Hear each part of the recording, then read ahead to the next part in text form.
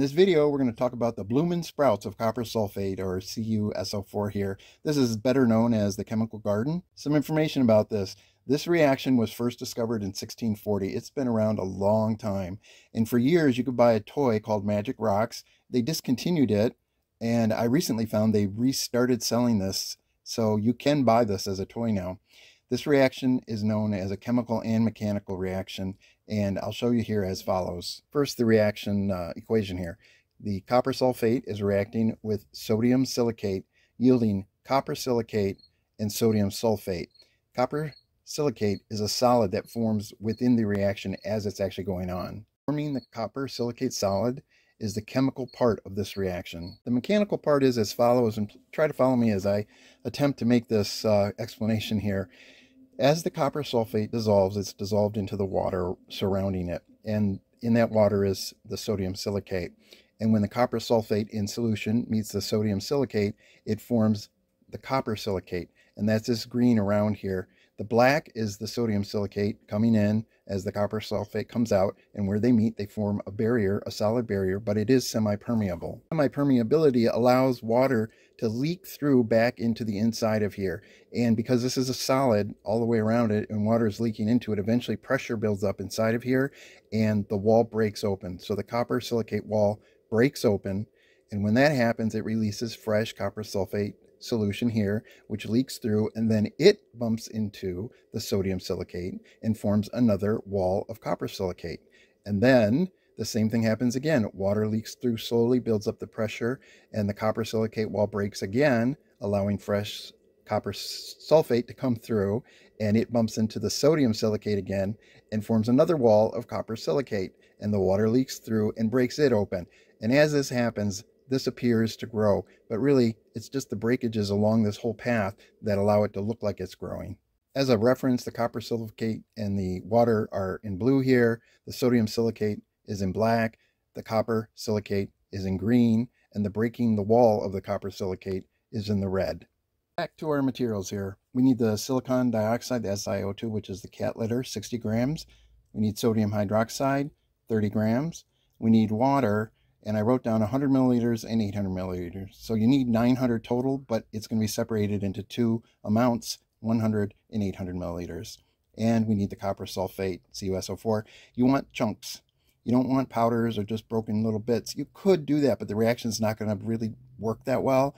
You want a good chunk, at least a centimeter in diameter if you can do it. Well, I ran out of room, so the method is really crammed into the bottom here, but this is how it goes. First, your cat litter, or your crystal cat litter here, sodium silicate goes in, mixed with the sodium hydroxide, two dry powders, just mix them together. Then you add 100 milliliters of water.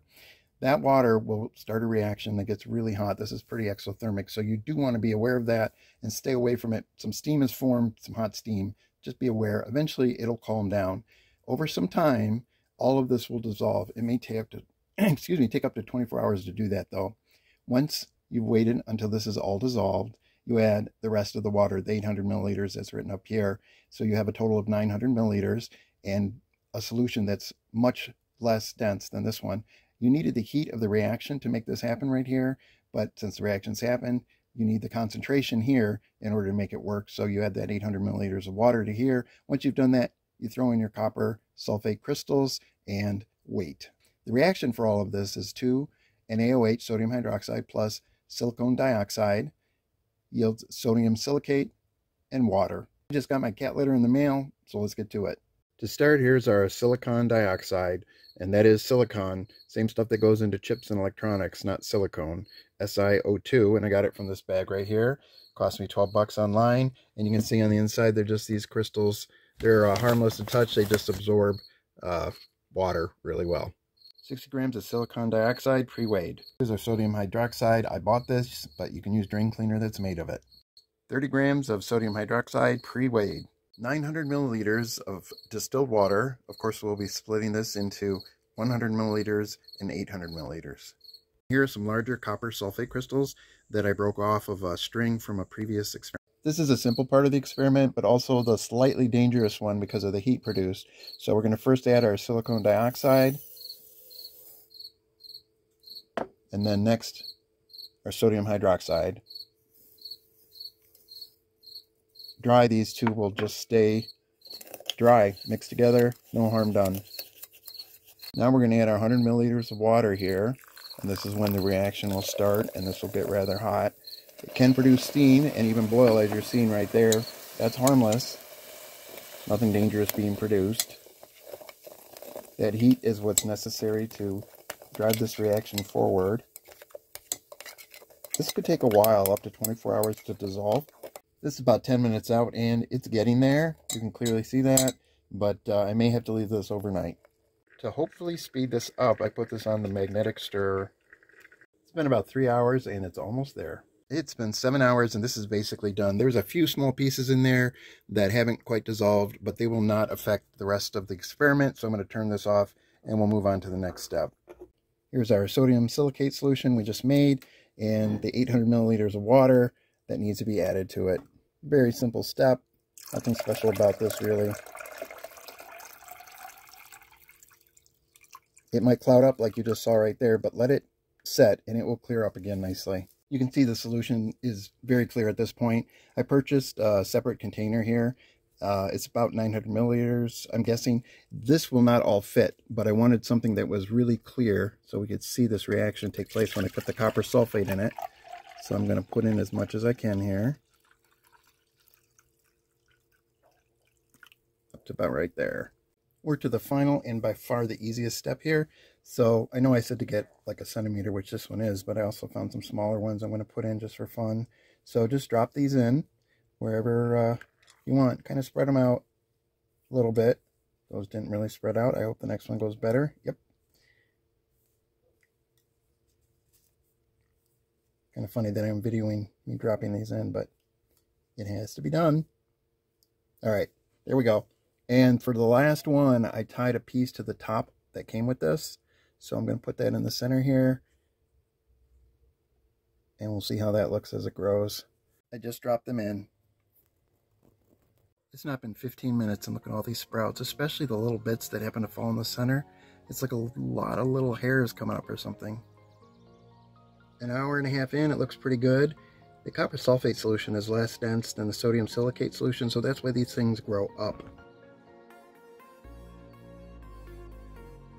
It's about four hours later. It's growing very nicely. The one in the middle there is definitely sprouting mostly up.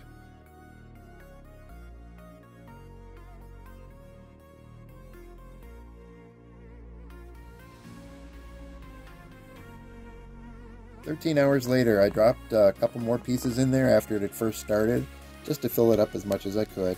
I'd say this is definitely a success. I didn't do this for this reason, but I took the top off, and this stayed in pretty good shape. I took that floating piece out so I could get the bubbles off the sides and take a good look inside, and what a difference. Such an interesting thing that happens. Chemistry is so cool. We tried copper sulfate and it worked well. Here are two other metal salts. One is magnesium, magnesium sulfate and the other is iron sulfate. This is how they look uh, typically when you find them in the powdered form. What I did was dissolve a bunch in water, then boil the water off so I can get large chunks of crystals. So here's the magnesium sulfate and here's the iron sulfate crystals. I'm gonna break off pieces and we'll put it in the sodium silicate solution and see if they also grow. The ferric sulfate is on the right, magnesium sulfate's on the left, and here we have our sodium silicate. I'm going to drop each one of these in here. Those are magnesium sulfate. And there goes our ferric sulfate. So I don't know what's going to happen. This is a true test. We'll come back in a little bit and see if they're growing. It's been about a half hour and they both work. Look at that. It's pretty cool. So I'm going to take other chunks of these same crystals that I made and put it in the original copper sulfate to grow different colors. You know, the one on the left, uh, magnesium sulfate, is just Epsom salts. So, yeah, I'm a little bit surprised. I just got done dropping in these extra crystals, both the magnesium sulfate and the ferric or iron sulfate crystals, and uh, we'll come back just to see how this looks in a bit. I think this is done. Look at all of these chemical growths. It's really rather beautiful. These have been running for a while now. Check out the tops. I guess once it hits the top, it just spreads out.